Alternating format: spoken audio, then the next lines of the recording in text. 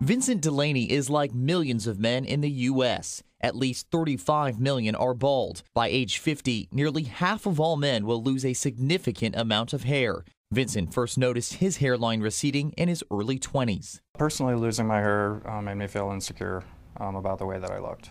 After topical treatments proved temporary, looking to change his appearance permanently, Vincent turned to the ARTAS system by Restoration Robotics. The minimally invasive state of the art procedure uses digital mapping and robotic precision to select and harvest hair for transplantation. After a week, donor areas are nearly undetectable because the ARTAS procedure doesn't leave behind any linear scars. Most patients quickly return to their normal activities within a day or two, and by 9 to 12 months, they enjoy a fuller, natural looking head of hair that can last a lifetime. You can see the results yourself. I mean, this is this is my hair, and when you see the before and after pictures, it's it's pretty incredible.